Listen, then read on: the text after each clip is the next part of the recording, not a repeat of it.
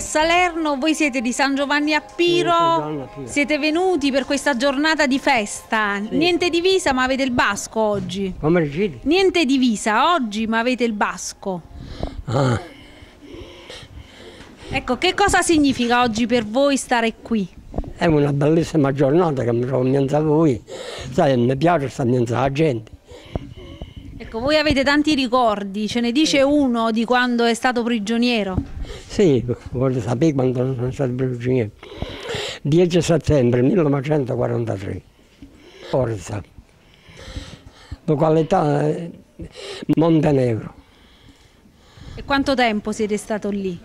20 mesi e 18 giorni. Prigionieri. No, dove sono stato. Ma l'hanno spostato poi. Ma come ci imbrugliamo? Voi non capite a me, ma non capisco a voi. Voi mi avete dice che volete sapere e che va già allora io, Ecco, chi vi ha liberato poi? i partigiani. Ma quando ci hanno liberato, ci hanno liberato in Austria a noi. Ecco, lei pensava che non eh, sarebbe mai più ritornata a casa. Sì, sì, quando mi trovo conto che la terra è sperduta, no? Oggi qui c'è una giornata di festa, ma voi due giorni fa avete fatto un'altra festa a San Giovanni a Piro. Mi prendono pure il sindaco, Che festa avete fatto? a festa di cent'anni. 100 candeline? Ah.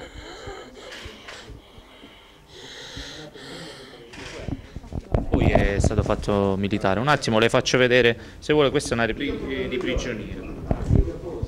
In tedesco, questo è tutto in tedesco.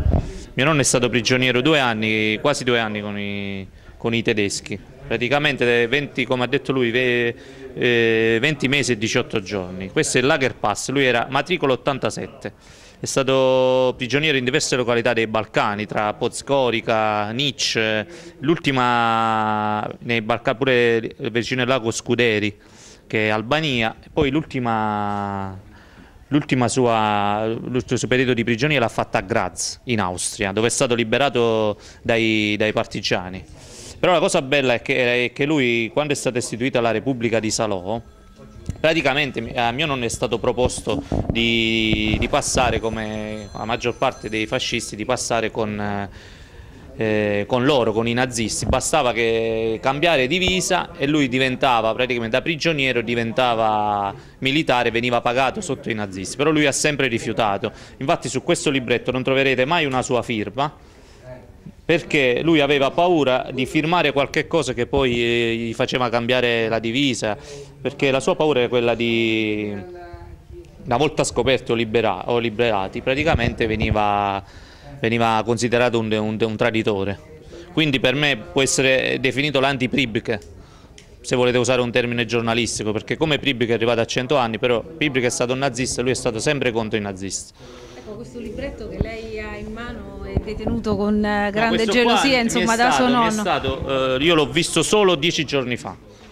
Perché praticamente gli abbiamo organizzato con tutti i nipoti e le figlie, abbiamo organizzato la festa dei 100 anni, abbiamo preparato una clip e io ho chiesto qualche cosa, noi no- non me- eh, io ho vissuto con mio nonno per 28 anni, nella stessa, non l'aveva, no, il libretto non non l'aveva mai fatto vedere a nessuno. E aveva una foto di militare che purtroppo adesso non ho eh, dietro perché ce l'ho nella penna qua, non possiamo scaricarla, però eh, che è, è intatta praticamente, lui ha una foto intatta, sembra fatta l'altro giorno da militare, però i suoi ricordi sono nitidi e può raccontare, lui può parlare di guerra per, eh, per- pra- praticamente per, per due giorni, solo di guerra. Questo qua invece... 20 mesi di prigionia. Questo qua invece è il suo libretto di questo quando è stato chiamato militare, però la leva normale, che è stato è chiamato il 9-10 del 36 e, la- e ha fatto tutto il militare a Sanremo.